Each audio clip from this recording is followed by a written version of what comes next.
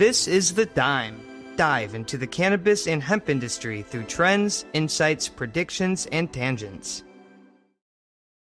What's up, guys? Welcome back to another episode of The Dime. As always, I've got my right hand man, Kellan Finney, here with me. And this week, we've got a very special guest, Peter Vogel, CEO and founder of LeafWire. Peter, thanks for taking the time. How are you doing today? Doing great. Awesome to be here. Thanks for having me on. We're, we're excited to kind of dive in. Kellan, how are you doing today? I'm doing well. I'm doing well. How about yourself, Bryan? Doing well, thanks. So before we kind of dive in, Peter, I'd love to get a little background about you and how you got into the cannabis space.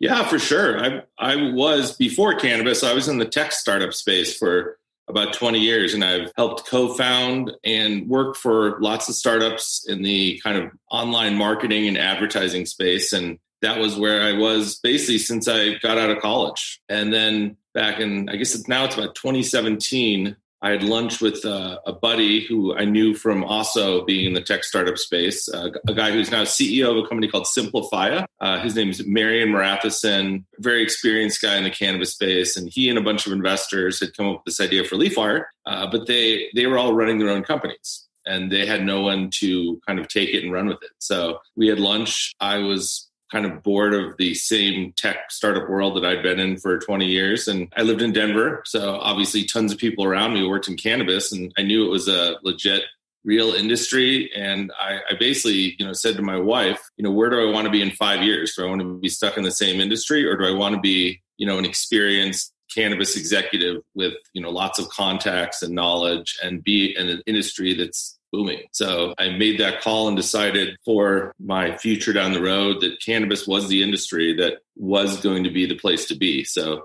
I jumped in headfirst and haven't looked back. For those who are just unfamiliar with LeafWire, can you give us the simplistic version of what it is and the value it brings to the space? Yes, would love to, of course. So the simplest way we pitch LeafWire to new people who've never heard of us is that we're the LinkedIn of the cannabis and hemp industry. So we're the largest business network in cannabis. There, there's not really any other business networks out there that you know have any audience or that are you know known by anyone.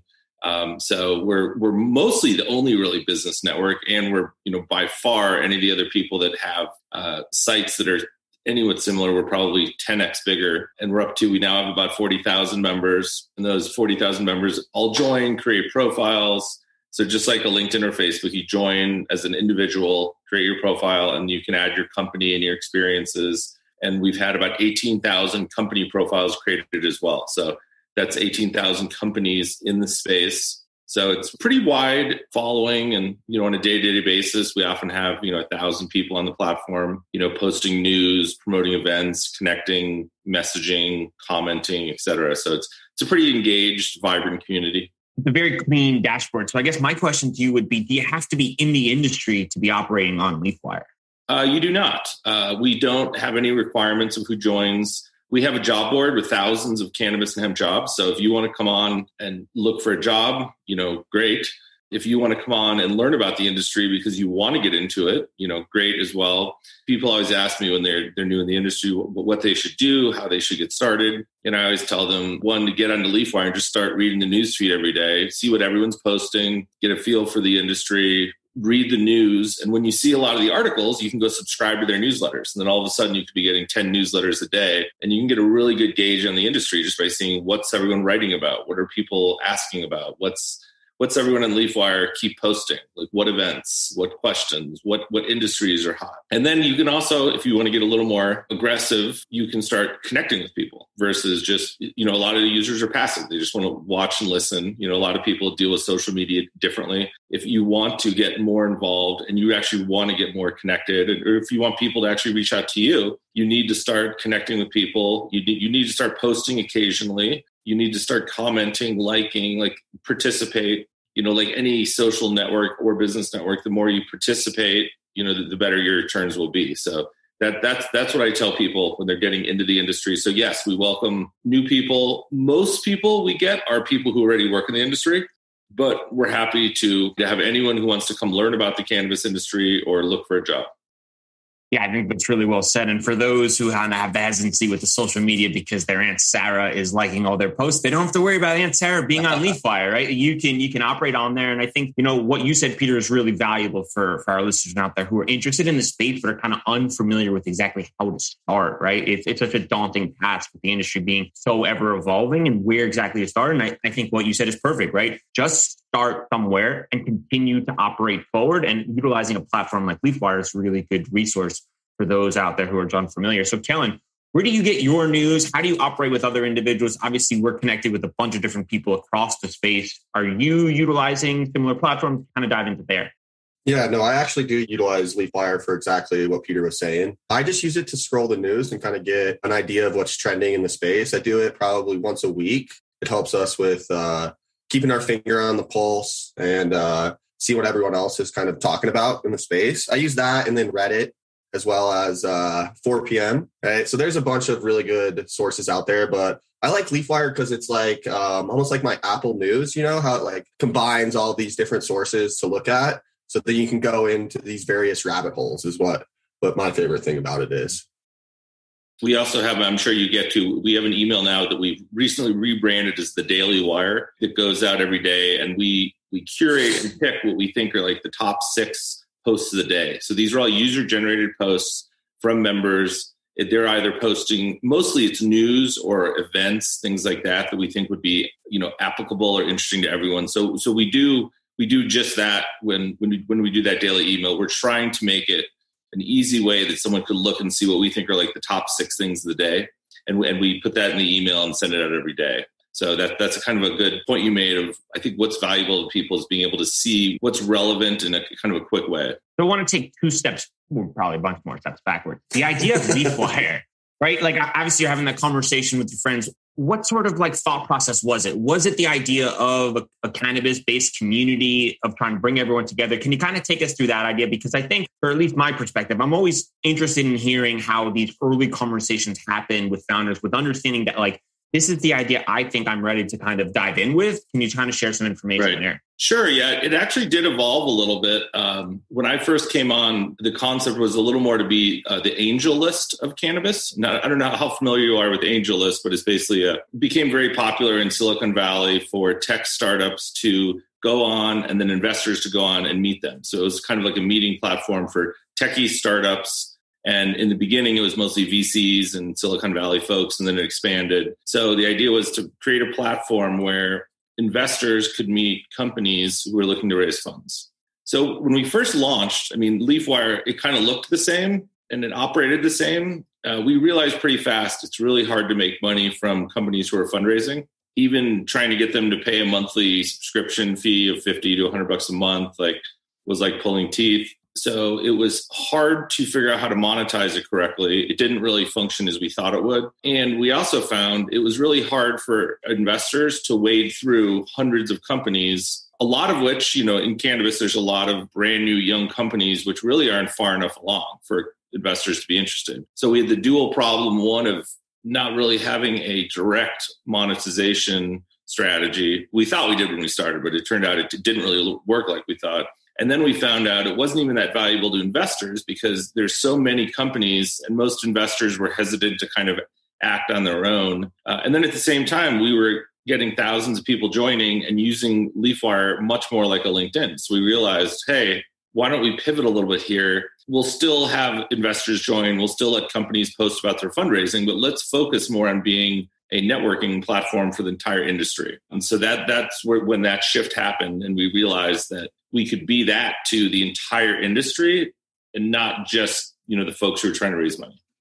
Yeah i think that's that's really important because obviously in a startup failing fast is really the most critical. And, and what we originally described as a business plan sometimes you realize oh man we really missed the marker here. And what we thought was actually was going to be our business case is really far to the right and the most important way is to continue to evolve and to move forward and it's interesting because i remember the conversations we had a couple years back and seeing like leafwire it feels so similar to LinkedIn when I'm on there with the events and the news and the connection. It, it, it's kind of comforting in that respect where I can feel like I've been on this type of platform and it's not one of those where I'm not sure how to use it. I know exactly right. what I'm on. The dashboard's clean. I see the events. I see the news. I see the people who are pretty pretty vocal about what their interests are. Opposed to LinkedIn, where I get tons of people saying, "Hey, I just want to connect." This one, there's actually like a purpose and a feasibility in their connection. Right.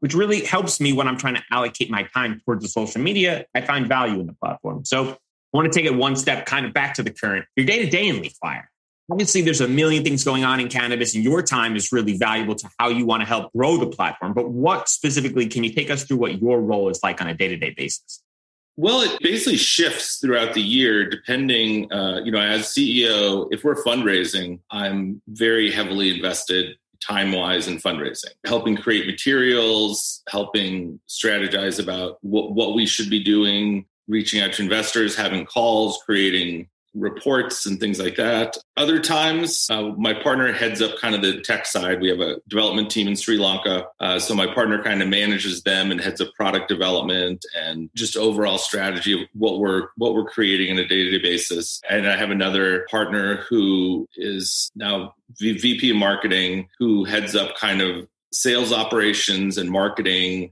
um, and we we're right now we're actually hiring for for a VP of sales as well. Uh, so currently, uh, as things shift, since we don't have a VP of sales right now, I'm spending a ton of time doing sales.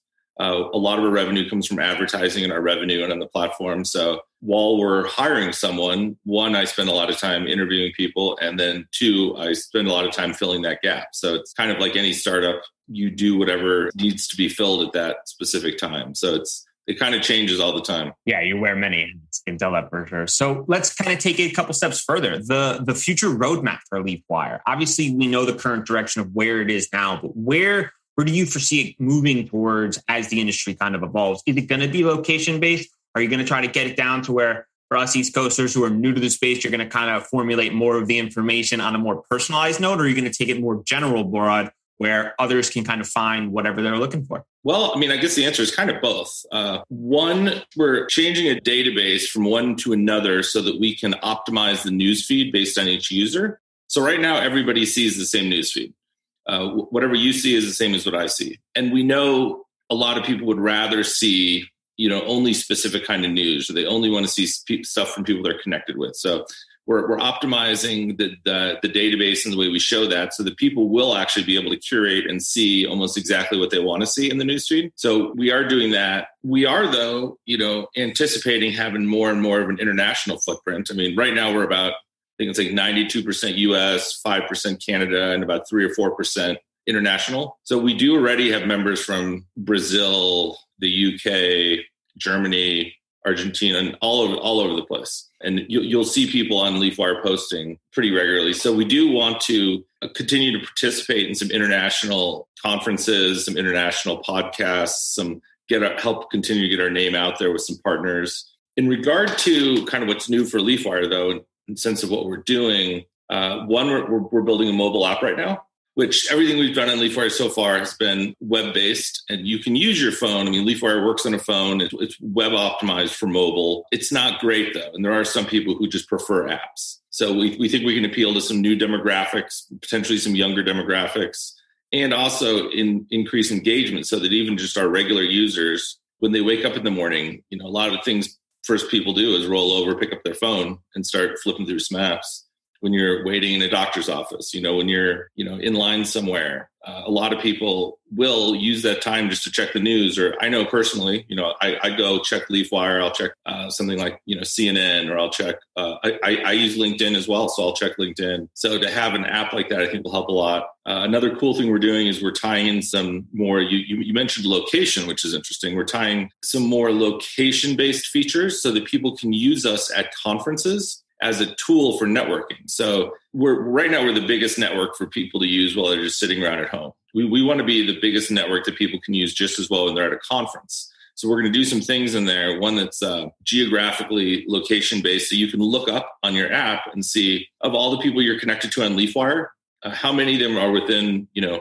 quarter mile of where you're standing, and so you could see at an event like who's there and then it'll give you a chance to schedule a meeting with that person and you can schedule it through leafwire and you'll be able to take notes on that meeting uh, and then when you leave the event all of your notes all your contacts are still in there because i find the thing that's frustrating when you go to an event and you use a lot of events have a mobile app you download it it's something you've never heard of or Whova or you've used it once or twice you use it and you uh, set up meetings and this and that. But when you go home, you never open that again. So all of the contacts you made, everything are kind of lost and it's wasted. So the idea is if you can, every time you connect with someone, we also want to make it. There was a company that did this back in like, I think the mid to late 2000s that kind of went away, but we want to make it so that if you're on LeafWire, you can essentially hit a button and get connected with someone else via their mobile phone, via you know some uh, location technology. So have it happen like NFC or something like that so that you get connected immediately without having to exchange business cards which in our post you know pandemic world not everyone wants to hand business cards back and forth all day long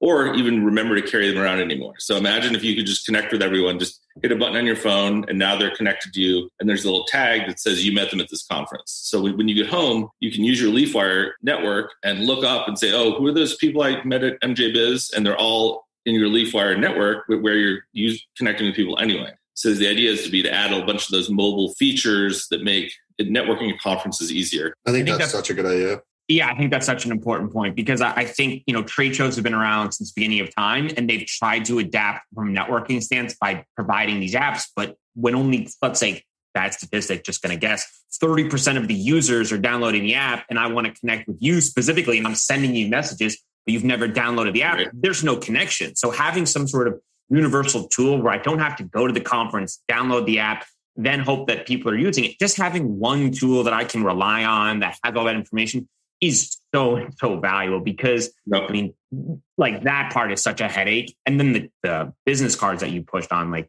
how many times, Kellan, have you lost a card of someone where you're like, oh, this guy was a great contact. I got to email him. You come home, you've got 200 cards, you're exhausted, and you're like, which which one was it? So so, Kellan, is that is that a tool you would consider using? Because obviously, it's it's connecting on a real pain point that you and I have had for a ton of time. No, totally. And I was uh, this is that's so funny you say that. Uh, mention all those features, Peter, because I was actually trolling the internet looking at these new credit cards that they have that have like a RFID chip in them that mm-hmm. literally link to all your personal information. So then the idea is you take the little credit card and you like put it up against someone's phone and it'll just automatically pull your contact information into their phone but then now you have all of these contacts just floating around in your phone. So with LeafWire, I think it's brilliant because it, it creates a database for you as well, right. like a record, right? So then you can go home, you get back on your LeafWire, and you're like, okay, here's all the people I contacted. It's organized, it's sorted, it's all clean. So I think that that's absolutely a brilliant idea from a, a networking standpoint at, at conferences. Yeah, uh,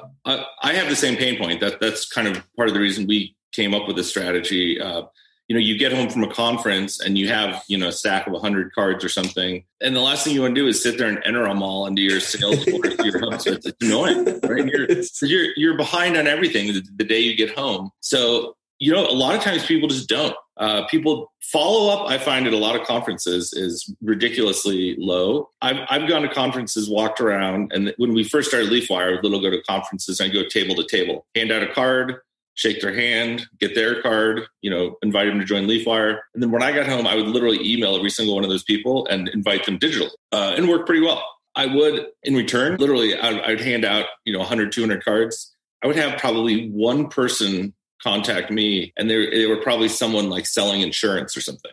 Uh, but yeah, so the quantity, I've always found that when you go to trade show, it is 100% up to you to follow up with who you want to. Like I always assume like no one else will follow up. Like you have to be the one to do it and proactively take the step that you want to happen. I think it's also pretty wild that it's taken this long for us to move away from a paper information, right? Like we, we're literally surrounded by computers 24 seven and we're still just handing out paper with our information on it. like, like a little crazy. Yeah. And I mean, it's even crazier too, because like when you, when you digest as a business, you digest the total cost of a trade show event. And then to just think about the connections, which are the most valuable part of the trade show, are being kind of like a forgotten part of the investment. You're wondering like, how are companies evaluating these investments in these trade shows? Because the follow-ups are completely broken. And that's really where all the business. Is really invested in. So if you're, if you're able to kind of pitch the business and say, Hey, like we know it costs $70,000 for you, your team to do this trade show, regardless of the other wasted time of travel, missed emails, delays, all those things. Now you have a real tool to kind of connect and follow up so that those business opportunities aren't left to like the salesperson who like might get to it or the person who wants to enter the cards in. It's a huge, huge pain point. And I mean, I think you, you can really nail down in a niche community like cannabis, which is ever evolving and find a tool like that that can help automate the process can make a massive difference. Yep, we we hope so. That's our goal. We, we want to make it all parts of it easier for people and to be the like like you said the universal kind of tool for people to use. Um, and it just makes it easier because you you made the point. You know, maybe thirty percent of people download an app. How what percentage of those people know how to use it? Um, yeah. So Kellan doesn't even use it. Like I'm sitting at the trade show yelling at him. I was like, "Did you message this person?" He's like, "I didn't download the app yet." And it's like, "Well, great, dude." right. There's there's a learning curve. Like you download some brand new thing, and you're like, "Which which tab do I go to?" And like, who's on here? Uh, so if there's something that everyone's already using, it's so many times easier to just open up your phone and be like, oh, here's the. And we also want to work. This is kind of another step further, but work work with conference organizers and make it so that we can actually upload, say, the agenda to a conference into LeafWire. We can upload the map of the place into LeafWire. We can upload whatever information they want, so that you can actually even you don't need that paper guide. You don't need, which a lot of people are trying to get rid of anyway. MJ Biz, I think, already got rid of their, their paper, uh, you know, the little thing they hand out. Sure. Uh, so if you also on your phone, you already have the LeafWire app. If at every event you go to, you can just click agenda, you can click, you know, map, or you can click meeting, uh, schedule meetings, and it just makes it so it, it, eliminates the need for all these other extra things. Yeah, I, I can't tell you how many times I've seen people like hand really valuable documents to someone else and then just turn the corner and bump it right in the trash. Yep. the trash. Or even worse, right? Like you, are like, oh, this is really valuable stuff. I'll look at it later. And you, you come home after the three days, you've got just a pile of shit on your hotel and you're like, I don't remember how I'm going to ever go through any of these. There's handwritten notes across the board. It's just ridiculous. And to go back on Kellan's point, you're right. Like the way we're operating now with all the technology and to think that we're utilizing these pieces of paper to transfer information is just it's ludicrous. Mm-hmm. Agreed, 100%. So let's go into the recent investment into Seed Invest. Can you share some more details about that? I was really curious to learn, you know, how, how that thought process came about and, and kind of how that went.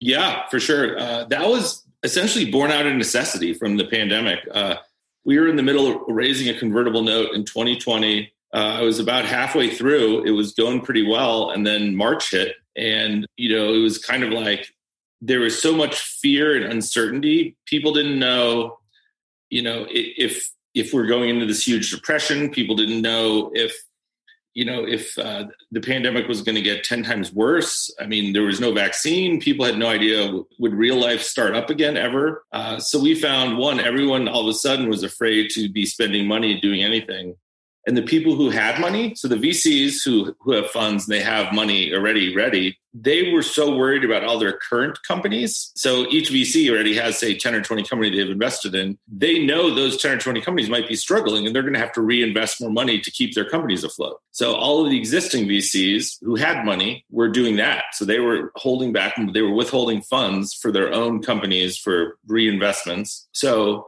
I essentially pounded my head on a wall for about nine months trying to raise money and had very little success. And then started talking to some crowdfunding companies. We hit it off with Seed Invest. They, they liked the platform, they wanted to do it. And so we started a campaign and um, it worked. So we finished the note. We, we raised a total of about a million dollars. And it was it was great because it was, you know, I don't want to say it's a last ditch effort, but it was basically an alternative. It was the the next thing to do besides just reaching out to investors directly.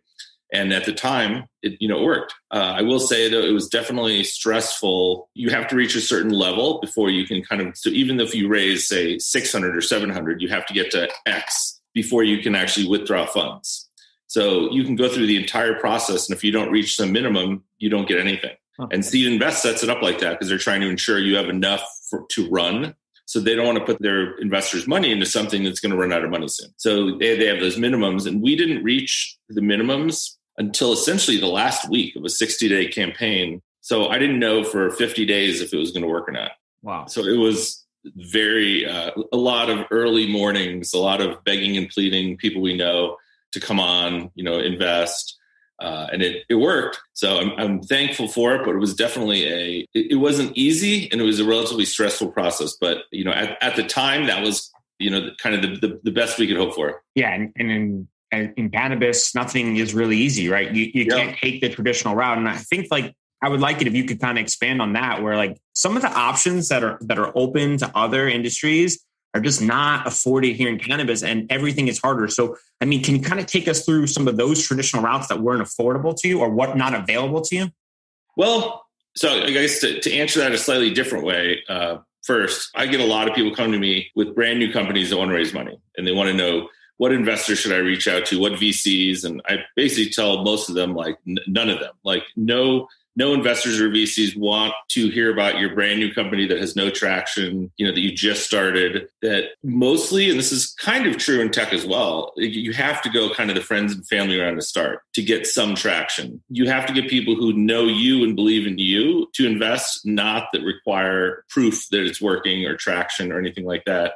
So for most brand new companies, that's mostly the only thing available. And this wasn't true back in like I'd say like 2015, 16, 17, 18. A lot of the VCs, everyone was investing in brand new companies because cannabis was so new. Any new company, people had money and they just wanted to jump on. You know, a year or two later, there's hundreds and hundreds of startups and the VCs are getting flooded with everything under the sun. So now they only want to put their money into things that are kind of series A or later and they want to see people that are generating at least you know 50 to 100k a month that have some proven product market fit that have like a, like an executive team in place that seems you know professional and seasoned. They would rather do that and spend more money than invest you know in early stage companies because they know it's going to take them a lot more time a lot more risk. So it, there a lot of the investing shifted from early seed stage to series a so, another answer to your question uh, I mean, the, the, most obvious thing that's not available to cannabis companies is larger institutional investors, a lot of private equity. Most of those funds have mandates in their company directives that they're not allowed to invest in anything that's federally illegal. It doesn't matter if it's illegal in a state or even if it's uh, an ancillary company like like Leafwire. Like we don't touch the plant, we don't sell anything. We're just a tech platform, but like no typically most big technology venture capital companies or private equity or institutional investors w- won't touch anything with the word cannabis involved with it. So that's definitely locked out. A lot of loan programs as well uh, aren't available to plant touching companies if they're federal like sba loans that sort of thing. So you're really focused on starting off friends and family. And then you know once you get some revenue some traction you can start going to you know, there's lots of other investors in cannabis. And then once you get to like a series A, you can actually hit up the VCs. You know, there's tons of funds out there that we all know that, you know, like Merida Capital or Poseidon or uh, Arcadian that all have, you know, 100 to 200 million in their funds. And they're great at that point, but most of them aren't, aren't interested until you get there it's hard. I it's it's like hearing you say that just kind of brings back some of the conversations we've had with partners where they they've come to us, especially during the pandemic, and said, "Hey guys, can can you help us? Like we're running out of capital and everywhere we turn, people are closing the doors on us. And, you know, I had friends outside industry go like, well, why can't they go like X? And it's like, well, X isn't available to people in the cannabis space right. because it's federally legal. And they're like, well, that's silly. And it's like, I agree. It's definitely silly, but still doesn't help them on how they can not close their doors. So Kellan, I mean, do you think other companies, especially in cannabis, will take a similar approach going forward? I do. I mean, there's the, I think until there's actual reform from a federal level, that they're going to have to kind of take every option that they have available to them, um, especially if they're pre-money, right? If if they're pre-money, like it's really really limited from an option standpoint. And if you are pre-money, you better have someone who either has an accounting background or is a CFA on your team, because a lot of uh, VCs and a lot of angels and high net worth individuals, like Peter was saying, jumped in just very excited about the industry, especially when California first went legal. People were throwing money around, just trying to get uh, their share of this market that's going to be massive. But it turns out that cannabis isn't tech and it's still federally illegal. So it hasn't grown like the tech industry grows, right? And you don't see these zero to a $100 million companies that often. It takes a long time to build these robust, vertically integrated, MSO kind of uh, focused companies. And a lot of investors also got burned really, really hard, right? They jumped in super eager, eyes wide open, like, let's go. Cannabis is, is going to be the next big thing. And a lot of the entrepreneurs in the space just weren't the right entrepreneur, I guess, for lack of a better uh, way to describe some of those individuals. But they got burned. And then that really kind of forced a lot of the investors into these kind of groups right? So now you see like Poseidon and ArcView, where the accredited investors kind of group together to help vet potential different opportunities right. for, for investment because there's strength in numbers, right? They were like, okay, I got burned by myself. Now I'm going to go out and team up with all these other individuals so that at least we have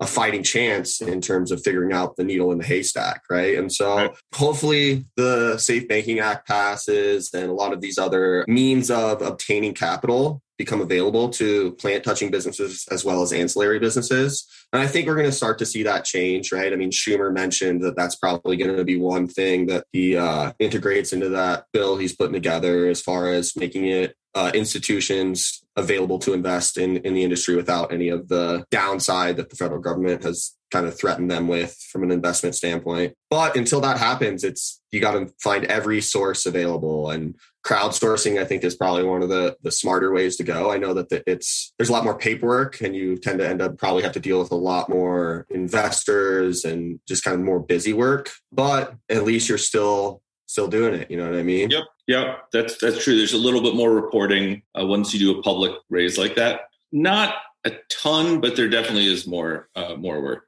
I think the point that you said, Kellan, too, like needs to be said louder is because how many times have we been a part of these groups where they're like, we're going to raise 10 million. And our first question is, who's operating the funds? Like who's distributing the money? Who's, who's making these decisions? Because as an investor, like that's going to be your first question, right? Like you got five or six people who are all good at different skills, but you're going to hand them a check for $10 million and say, good luck, guys. Like just figure it out. No worries on that. None of you guys have any sort of financial background. So just divvy up the money individually and just like wish me the best of luck. And, and that's the crazy part though, is that like you don't need that much money. I mean, obviously, in some instances, you certainly do because cannabis is expensive. But I think to go back what you said, Peter, like you have to start sometime. And that means having a minimal viable product and just demonstrating that you can put the piece of the puzzle together and any sort of experience that you have in your, your previous background or entrepreneurial spirit can make a big difference. But it's also different challenges in cannabis. And one of the biggest challenges, I think, for sometimes is people have these grandoso ideas, but are unable to actually start and put the pieces going forward. And I think as an investor, you don't want to invest in someone who's not able to kind of actionize based on their ideas. You want someone that is can actually do what they say, continue to push forward because as a as an entrepreneur, there's fires every day in every other area, and you have to be able to prioritize the needs to continue to wear different hats to grow your business. Yep, definitely. It, there a, a lot of skills and experience definitely does come through from your past, but there are also lots of brand new challenges, and cannabis has all of its own problems. So both of those things are very true. Some of them silly, right? Like we can all agree that they're silly challenges, but the challenges are the challenges, regardless of what we think of them. Uh, very true. So let's go slightly different approach. The biggest misconception since you've been in the cannabinoid space. The biggest misconception, in general, most people who aren't aren't in the industry think it, it's easy to run a cannabis company. First of all, uh, they think people are just making money hand over foot. They they think everyone's just raking in the dough, uh, with, without realizing that you know how many people are there that you know I met three years ago that I thought were super experienced and had such great companies, and half of them are all gone now.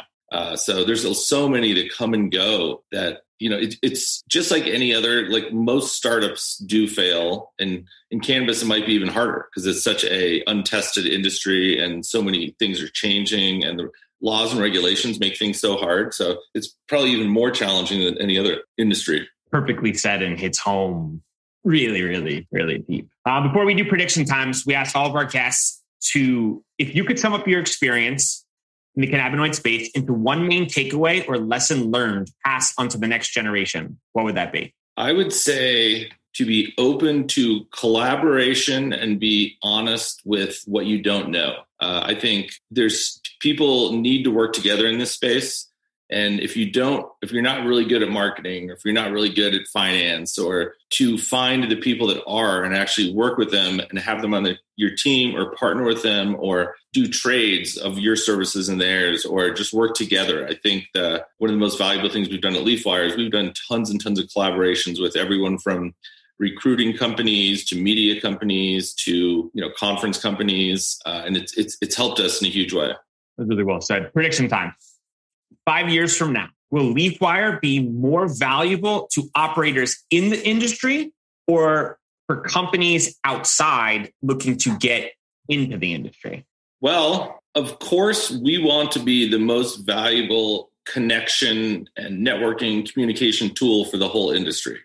So I, you know, have to one say that in five years from now, I would hope that almost everyone in the industry has the LeafWire app in their mobile phone and is using it at every single conference they go to for their, you know, for their meetings, their connections, their networking, and that you know we're just the go-to platform for all of networking communication. So I mean that has to be, you know, super important. But of course, um, I don't know if it has to be a one or the other answer, but uh, assuming we are that if you want to get into the industry, obviously that we would be the most important tool or access point you could have because you know you could go to LinkedIn, but you're going to have everything else on LinkedIn. And if all you want is cannabis and hemp industry, you know, news, events, connections, learning, etc., you know, we would be the most, you know, probably important thing for them to do. So I'll say both.